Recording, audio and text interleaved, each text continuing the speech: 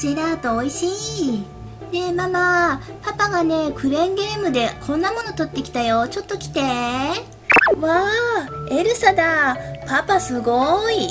それでは早速開けてみましょう。ちなみに箱は、こんな感じになっています。表と裏で絵が違いますね。はい。あ、なんかね、見る角度によってちょっと表情が違うような感じがします。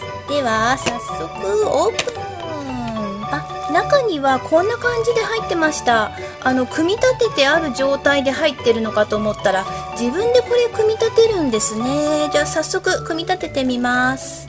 えっと広げてみると全部でこういう状態なんで3つのパーツに分かれてますねはいこちら顔パーツで首のところに穴が開いてるのでえっとこれを差し込むだけですねしょよいしょ。こんな感じでいいのかな？そして足のところには突起がありますのでこの台座に差し込むんですね。はいこんな感じになりました。じゃあちょっとぐるっと見てみましょうか。あの髪の毛がすごく細かくできてますね。本物っぽい。こんな感じです。ちょっと角度変えて。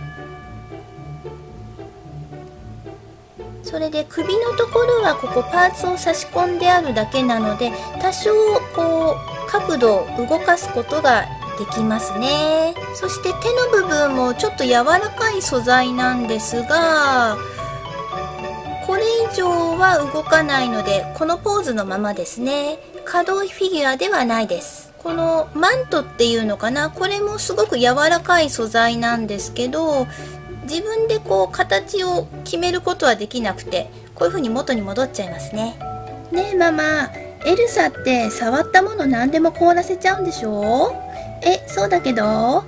じゃあさジェラートショップの店員さんっていう設定にしようよ。あなるほどね。エルサのジェラートショップへようこそ。わあジェラートショップだ。ねえお母さんちょっと食べていこうよ。わーいわーい。いらっしゃいませ。本日のおすすめはオレンジジェラートといちごジェラートです。それじゃあ一つずつくださいな。はいそれではまずいちごジェラートになーれ。わーすごい。いちごジェラートになっちゃった。次はオレンジジェラートになーれ。